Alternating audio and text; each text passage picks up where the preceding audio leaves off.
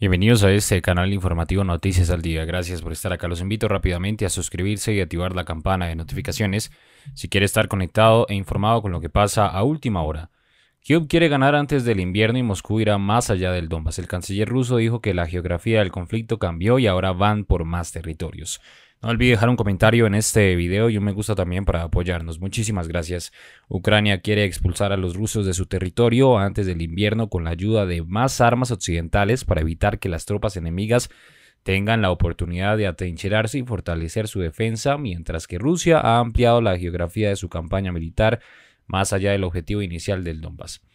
Después de la llegada del invierno, los rusos tendrán más tiempo para atrincherarse y será más difícil. Nos están arrastrando a eso pero es muy importante no darles esa oportunidad.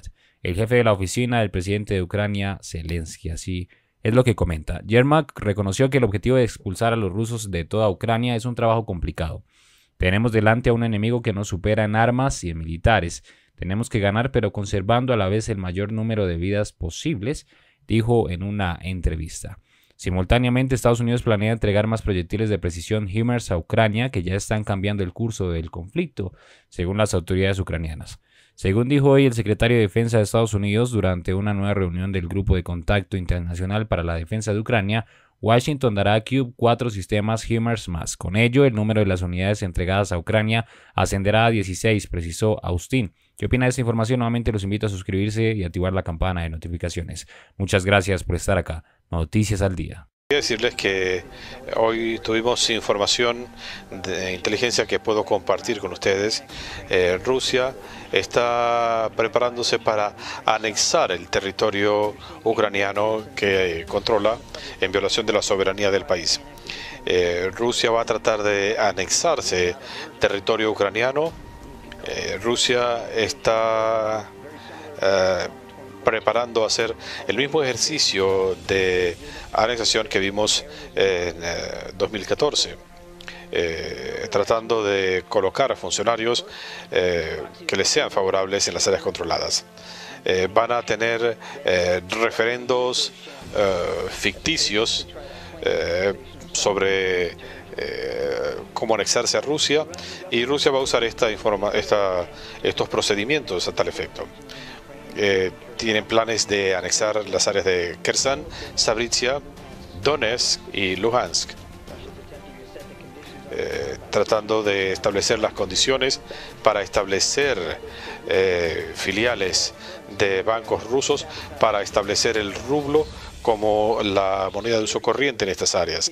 Los servicios de seguridad de Rusia eh, siguen atacando a los ucranianos que consideran asociados con la resistencia. En Kursan, por ejemplo, Rusia ha controlado las torres de transmisión, instalando fuerzas de seguridad leales, obligando a los residentes a pedir ciudadanía rusa y emitiendo pasaportes rusos. Rusia también está instalando eh, elementos leales en las áreas que controla, incluyendo un sujeto llamado eh, Sergei Yeleseyev, un ex oficial de inteligencia de Rusia a quien pusieron a cargo de Korsan. Eh, burócratas que no tienen conexión alguna con Ucrania. El Kremlin no ha indicado cuándo haría estos referendos, pero agentes de Rusia dicen que sería eh, más adelante este año, eh, quizá eh, en conjunción con las elecciones regionales de Rusia. ¿Qué implica esto? A comienzos de año Rusia le dijo al mundo que no pensaba invadir a Ucrania y quieren que ahora creamos que no piensan anexarse territorio ucraniano. Eh, estas actividades por la fuerza violan el acta de las Naciones Unidas y no vamos a dejar que esto eh, se lleve adelante de manera impune. Eh, seguiremos imponiendo sanciones a las fuerzas de seguridad. Esta semana se anunciará otra serie de paquetes de asistencia para Ucrania, el décimo sexto desde que el presidente asumió su cargo. Esto va a incluir más sistemas eh, de cohetes móviles que han estado utilizando de manera muy efectiva y esto también va a incluir eh, proyectiles y artillería. También vamos a seguir exponiendo los planes de Rusia para que el mundo sepa que cualquier tentativa de anexión es ilegítima. Y estamos sancionando a los títeres de Rusia. Eh, por ejemplo, el mes pasado sancionamos al alcalde instalado por Rusia en Melatovo, así como los así llamados presidente y vicepresidente del gobierno local. Si Rusia continúa con estos planes, vamos a responder de manera severa y en concordancia con nuestros aliados y socios. Rusia enfrentará sanciones adicionales y se convertirá aún más en un paria mundial. Nunca vamos a reconocer esta anexión de territorio. Eh, ni las deportaciones forzadas y otras violaciones de derechos humanos perpetradas por Rusia. Y le vamos a recordar al señor Putin que con el tiempo eh, no va a poder retener este territorio. Eh, van a tratar de mantener ese territorio, el pueblo ucraniano se va a resistir.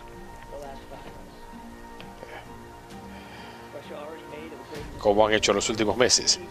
Rusia ya cometió un craso error aquí, no ha logrado sus objetivos estratégicos.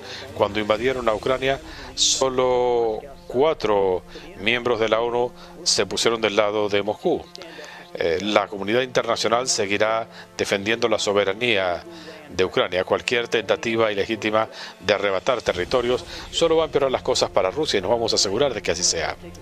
Y otro punto, antes de pasar a preguntas, hemos anunciado una serie de medidas del gobierno Biden-Harris para ampliar los recursos que tiene el gobierno para hacerle frente a la toma de rehenes y detenciones ilegales. El presidente firmó hoy una orden ejecutiva que eh, amplía los recursos para traer nuestros ciudadanos al país, autoriza la imposición de sanciones financieras y proscripciones de emisión de visas a aquellos que apoyen la toma de rehenes o las detenciones ilegales. También se está anunciando un nuevo indicador de riesgo en las advertencias para informar al público sobre el riesgo de detención por gobiernos extranjeros en seis países que se embarcan regularmente en estas prácticas. Eh, tenemos nuevos indicadores que cubren el riesgo de secuestro eh, por parte de fuerzas irregulares. Estas medidas demuestran el compromiso inquebrantable del presidente Biden de traer de vuelta a aquellos que han sido detenidos indebidamente y para traerlos al país. Y con esto paso a sus preguntas. Gracias, John. En base a lo que dices sobre eh, los planes de Rusia, ¿cómo evalúa Estados Unidos la visita del presidente Putin a Irán y por qué iba a hacer un viaje tan riesgoso en este momento para reunirse con el líder supremo? Eh, en cuanto al por qué, dejaré que el señor Putin sea quien hable de eso, pero puedo decirles tres cosas sobre el viaje. Primero, demuestra hasta qué punto el señor Putin